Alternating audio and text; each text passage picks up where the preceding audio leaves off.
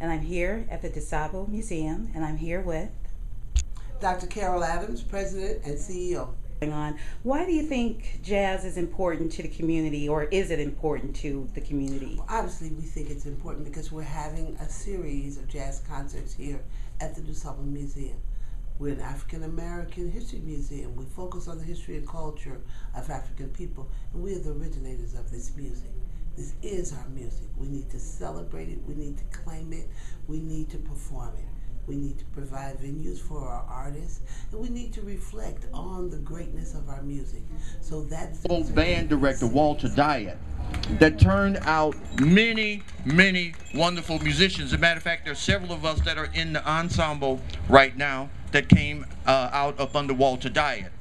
And if we mention Walter Dyett, you have to mention, and you've mentioned Walter Dyett and the DuSable Museum, you have to mention Dr. Margaret Burroughs. And uh, she was a, art teacher when I was at DuSable. It was very special when you knew you were in a different place when you walked into her room.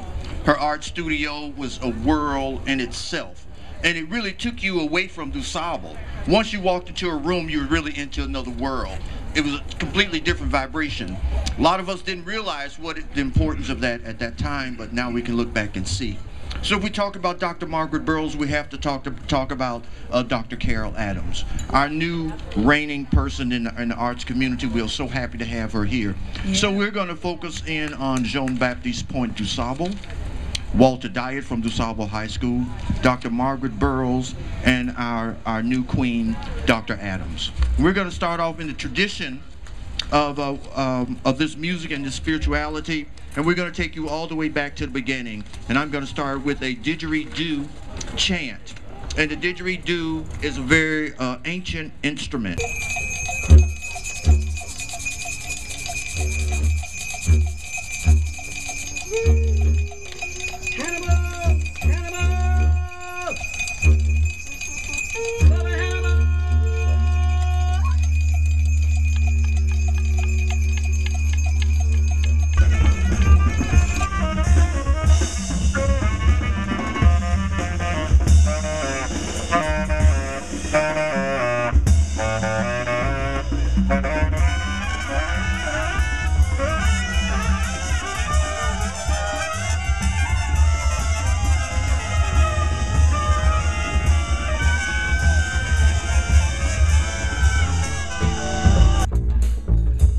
They say you can't discover a place where folks already live.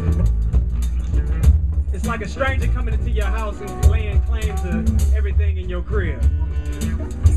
But unlike a certain mani maniacal murderer, maniacal murderer that raped, pillaged, and plundered his way through a little place we now call Puerto Rico, the brother named DuSable actually set up shop where people only pass through with only brief stops.